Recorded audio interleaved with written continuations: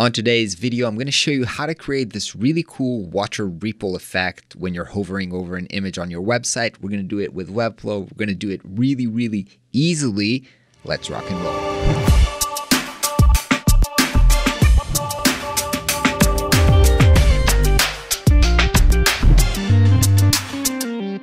Hey everybody, what's up? So lately I've been seeing this kind of image distortion effect when you hover over stuff on website and it's really really cool and it always looks like oh man and you need kind of a customer developer to achieve this type of high-end image distortion effect but honestly I wanted to prove myself that I could achieve that really easily with Webflow so I sat down and tried to um, achieve that. Honestly I got confused, I got messed up and I actually spent it a lot of time to do that but now that I've solved it I can give it to you and show you how to use that so you'll be able to implement it within minutes. So besides showing you how I do this and giving you the, the project so you can clone and edit it, I want to explain the thought process of how I try to achieve when I'm trying to do something with Webflow that I have no clue how to do. How do I work through to solving this? So let's get started. So first, the first thing that I usually do when I have something that I want to accomplish, I Google search it because maybe somebody asked that before, maybe they know how to do this. In this case, I search Google for water ripple effect Webflow and I got to this uh, Webflow forum where sometimes you find a lot of answers. And there was this answer with uh, from Ezra who mentioned this kind of a GitHub library where this effect can be achieved. But this always looks, you know, too complicated for me. You know, I'm not a developer. I don't know what that means.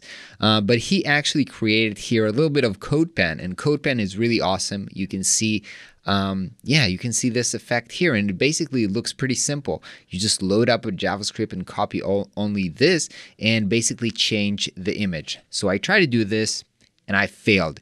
I won't bore you with all the little details, but turns out that when the images are hosted on Webflow, you can't, the code can't manipulate the effect somehow. So let me show you how I've structured this, and it's really, really easy for you to do as well. So this is my project within Webflow. And what we have here is basically a hero. Within it, there's the titles that we have here, H1 and the subtext. And the image, instead of being a background image of the hero section, it's actually an HTML embed. And let me open that up so you can see. Basically, it's just it's just a div that we have here that is called, that has the ID of ripple. And it's basically set up to be position absolute and just fill up the whole space. Now, the reason that we're using this custom code just to do a simple div with a background image is so that I will be able to change the URL of the image from the default, you know, if I choose an image that's hosted on Webflow, or if I would want to, you know, give a background to the hero, I would go here to the background. I would only be able to select images that are currently hosted with Webflow. And I don't want to do that. Again, as I said, you have to host the images somewhere else so that the JavaScript will be able to manipulate the code. So what I did is very simply, I Googled free image upload and I got to this website, ImgBB, uploaded the image and got it here. Now it's hosted. And what I did is copy link address. So now I have a new address that is not hosted on Webflow, this IBB, and that's actually the image. So when I use the uh, embed here, I was able, let's go to the open code and paste that URL right here. Okay, so basically what we have here is we have a div that takes up the whole space because it's, you know, it's position absolute, um, you know, filling up the whole space of the hero section. And I'm just putting in a custom, you know, background image. Now I did have to, to put these uh, titles above this element, I had to make sure that they are relative here so they would go, come up on top of the HTML embed. Now that I did that, the only thing left to do is actually add the custom code, which you can go here and to the custom code in this page.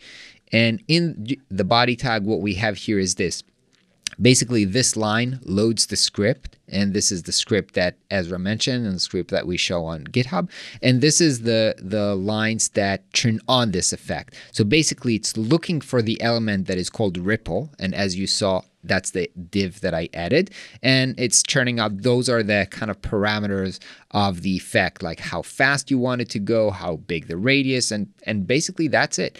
So all, the only thing that you have to make sure is this this name ripple correlates to what we have here. If we open this custom code, has to correlate to this div ID ripple.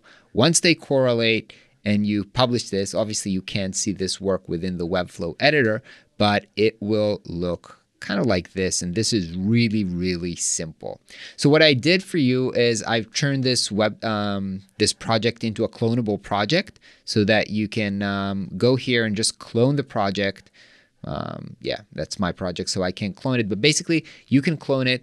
The only thing you'll have to do is host the image that you want to put somewhere. You can use this BB IBB image BB um, that I used. It's free. Just change the text here, change the URL for the background image, change the in the custom code. Actually, you don't have to change anything in the custom code. Just copy and paste this or use this project, and you'll be set to go probably within minutes.